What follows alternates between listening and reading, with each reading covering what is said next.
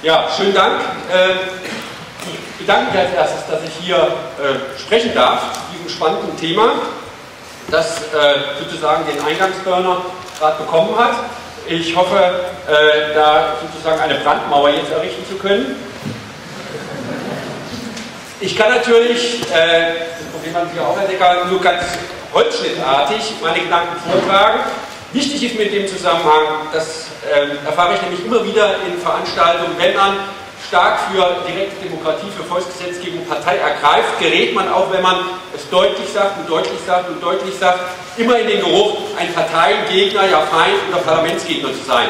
Bin ich nicht. Ich sage das ausdrücklich und äh, hoffe, dass es in der anschließenden Diskussion, ich hoffe auch, dass es eben Leute gibt, die vielleicht äh, dann doch äh, reserviertere Ansichten vertreten, äh, zur direkten Demokratie, das immer im Hinterkopf mit bedenken. Sie können sich denken, als äh, Öffentlichrechtler, Verfassungsrechtler gehe ich an die Frage normativ heran, um zu überlegen, welche Instrumente der direkten Demokratie eingeführt werden sollen. Da gehe ich natürlich von dem Begriff der Demokratie aus und sage, Selbstbestimmung des Volkes nach der Mehrheitsregel ist bedeutet Demokratie. Demokratie fordert Selbstbestimmung des Volkes nach der Mehrheitsregel, weil nur dann die Freiheit und die Gleichheit aller Bürger im größtmöglichen Maße verwirklicht werden kann. Das ist der Maßstab. Und an diesem Maßstab muss ich alles weitere meines Erachtens messen. Wenn wir jetzt diesen Maßstab gegenüberstellen, die real existierende rein parlamentarische Demokratie, stellen wir fest, dass allein die Bürger, Sie hatten es gesagt in Ihrem Eingangsstatement, die Bürger allein alle vier Jahre den Staatswillen unmittelbar mitbestimmen können, dazwischen können sie es nicht. Und das bedeutet in der Praxis real, dass vier Jahre lang relativ wenige Repräsentanten entscheiden über die Gesetzesinhalte und deswegen auch immer wieder Minderheitenherrschaft zu beobachten ist. Und zwar Minderheitenherrschaft äh, in zweierlei Form. Einmal dadurch, dass, die, dass das Parlament, der Bundestag, Bundesrat Gesetze verabschiedet, die höchstwahrscheinlich breiten Mehrheiten in der Bevölkerung widerspricht. Ich habe hier den Klassiker, der sicher auch in die Lehrbücher Eingang finden wird, erwähnt. Und umgekehrt äh, durch Unterlassen. Und das ist jetzt gleich die Gegnerschaft, die Hauptgegnerschaft vielleicht zu Herrn Decker. Die Parlamente widersprechen auch dem Mehrheitswillen dadurch, dass sie es unterlassen, bestimmte Gesetze zu beschließen. Hier Beispiele aktueller Art. Die Bürgerversicherung, flächendeckend gehört gleich in den zweiten Punkt, die Bürgerversicherung, die von der Mehrheit der Bürger äh, dauerhaft präfer, äh, präferiert wird und zweitens hier aufgeführt äh, ein allgemeiner flächendeckender Mindestlohn. Das sind zwei Themen, die werden von äh, dem Bundestag nicht beschlossen, obwohl eine Mehrheit das äh, befürwortet nachdrücklich dauerhaft. Insofern können wir beobachten eine partielle Minderheitenherrschaft. Und das bedeutet, wenn ich sowohl gegen das Tun als auch gegen das Unterlassen ein Gegengewicht setzen will, das Mehrheitsherrschaft zum Durchbruch verhilft, brauche ich Instrumente, die sowohl gegen das Tun als auch gegen das Unterlassen in Stellung gebracht werden können. Und das bedeutet in einem umfassenden Sinne Volksgesetzgebung Klammer auf, ich würde sagen, auch das fakultative Referendum ist eine gewisse Form der Volksgesetzgebung, wenn auch nur eine negative dagegen Volksgesetzgebung, Klammer zu. Das Volk muss die Möglichkeit haben, selbst verbindlich Gesetzesinhalte auszuwählen und wenn sie auch nur darin besteht, zu sagen, dieses Gesetz des Bundestages wollen wir nicht. Es muss also eine Bremse gegen Tun geben und ein Gaspedal gegen Unterlassen.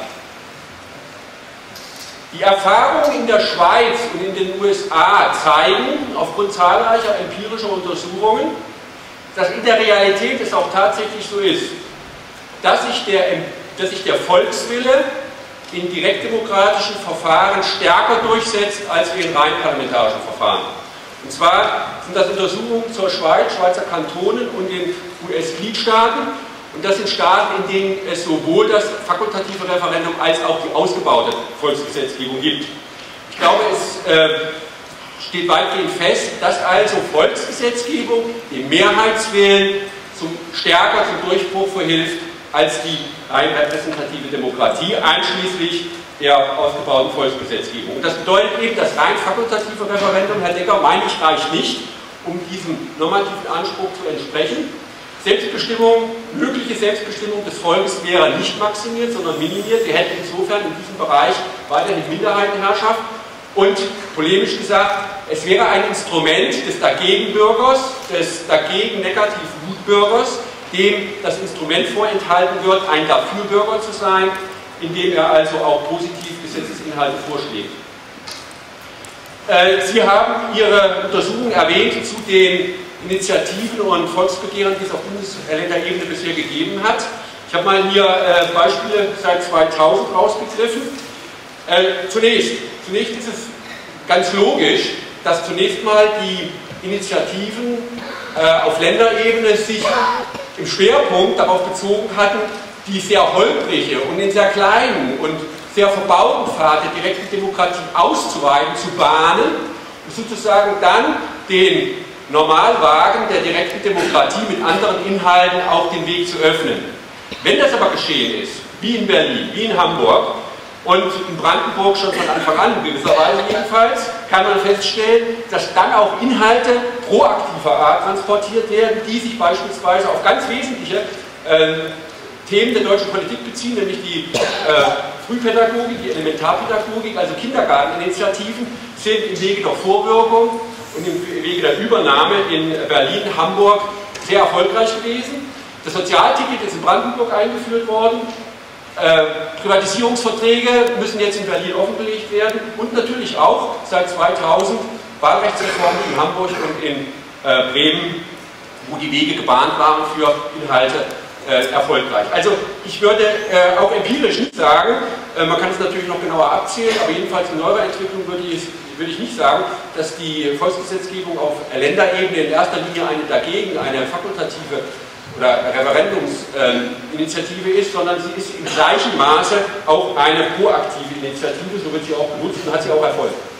Äh, das kann man auch in der Schweiz beobachten. Sie hatten vorher gesagt, Herr Deckert, dass das fakultative Referendum dominiert. Das könnte man vordergründig sagen, wenn man sich die Ergebnisse an der Urne anschaut. An der Urne ist es tatsächlich so, dass ca. 10% der Initiativen Erfolg haben, aber ungefähr 45% der fakultativen Referenten. Vordergründig stimmt das also. Und Sie haben natürlich auch recht, wenn Sie sagen, das fakultative Referendum entfaltet eine Vorwirkung, sodass es also nicht ausreicht, für Referenten abzuzählen, sondern man muss natürlich in jedem Gesetzgebungsprozess die Vorwirkung des Referendums mitbedenken. Aber man muss natürlich dasselbe auch bei der Initiative machen. wenn man die Initiative insgesamt betrachtet, 290 seit 1891, stellt man fest, dass ungefähr 50 Prozent dieser Initiativen durch Vorwirkung, Nachwirkung, Gegenvorschlag erfolgreich an der Urne des Parlaments auch Erfolg hatten. Teilerfolge hatten, sodass man sagen muss, genau das zu qualifizieren ist schwierig, aber dass man sicher sagen kann, in der Schweiz ist die proaktive Volksgesetzgebung ebenso bedeutsam wie das fakultative Referendum. An dem Punkt auch noch eine Ergänzung, Sie haben es ja auch schon erwähnt. In der Schweiz gibt es auf Bundesebene keine Gesetzesinitiative. Und das hat zur Folge, dass eigentlich Materien, die in die einfache Gesetzgebung gehören, auf Verfassungsebene angesiedelt werden. Beispiel haben Sie auch genannt für eine proaktive Initiative, die es jetzt gegeben hat. Zweitwohnungs, äh, Zweitwohnungsbegrenzung auf 20 Prozent in den Gemeinden ist angenommen worden vor einigen Tagen in der Schweiz. Äh, das gehört eigentlich in einfacher Gesetzgebung, ist aber sozusagen in die Verfassung reingedrückt worden. Äh, sehr viele in der Schweiz sagen, auch auf Bundesebene ist selbstverständlich die Gesetzesinitiative einzuführen. Man scheut sich da aus bestimmten Gründen, die wir nachher noch diskutieren können. Selbstbestimmung des Volkes bedeutet, da kommt man sozusagen jetzt zum nächsten, äh, zur nächsten Konfrontation, Selbstbestimmung des Volkes bedeutet, dass man selbstverständlich keine Gesetzesmaterien, die dem Bundestag offen stehen, ausnehmen darf. Das bedeutet insbesondere, dass man keine Finanztabus einführt. Andererseits, jedenfalls meine Auffassung, muss auch das Volk natürlich, wenn es an die Finanzen geht, sagen, wie es finanziert werden soll. Also der Kostensetzungsvorschlag ist notwendig. Und äh, dass das funktioniert, dass alle Materien dem Volksgesetzgeber gegeben werden können, zeigt die Schweiz und zeigen die USA. Dort gibt es kein Finanztabu. Und selbstverständlich muss auch die Verfassungsänderung, allerdings dann auch mit entsprechenden Mehrheiten, ähm, zwei Drittel Mehrheiten, zulässig sein. Wenn wir auf Bundesebene diese Volksgesetzgebung einführen würden, würden wir sozusagen verlängern, das, was sich auf Landes Landesebene, Bundeslandesebene auch schon eingespielt hat, auf kommunaler Ebene noch viel mehr. Und wir würden sozusagen die politische Kultur, die wir dort zunehmend praktizieren, auch auf Bundesebene einführen. Und das entspricht auch dem, was die Bevölkerung möchte, die nämlich kontinuierlich seit Jahren, Jahrzehnten kann man wahrscheinlich sagen, mit zwei Dritteln und mehr Volksentscheid und Volksbegehren auf Bundesebene fordern. Selbstverständlich ist es nötig, dass auch in der so veränderten, ähm, in dem so veränderten Regierungssystem der Bundesrepublik Deutschland die kontinuierlich handlungsfähigen Verfassungsorgane, Bundestag, Bundesrat, Bundesregierung, äh, eine Führungsfunktion ausüben können. Sie sollen auch nach bestem, bestem Wissen und Gewissen sozusagen gegen Mehrheiten im Volk, jedenfalls gegen Mehrheiten im Volk, die sie zunächst wahrnehmen, entsprechende Beschlüsse fassen dürfen. Ihre Aufgabe ist es nicht, den Demoskopen und dem Volk hinterherzurennen, sondern ihre Aufgabe ist es, das, was sie nach ihrem Gewissen am besten für das Gemeinwohl finden, auch in praktische Politik umzusetzen.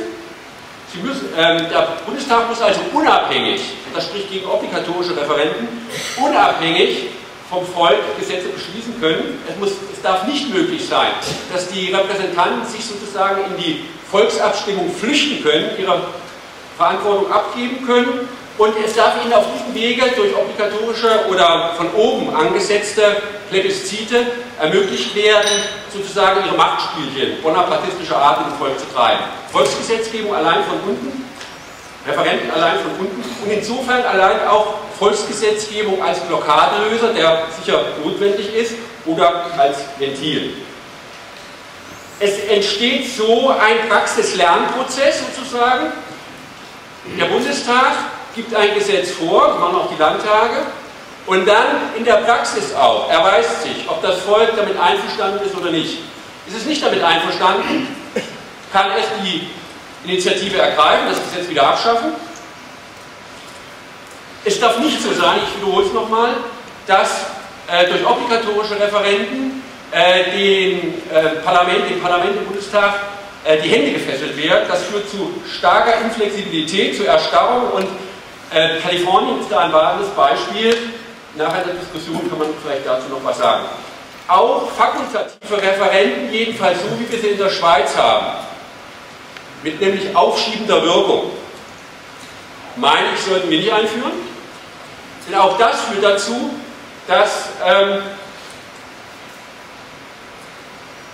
die Initiativmöglichkeit der Verfassungsorgane im Bundestag zu sehr eingeschränkt würde.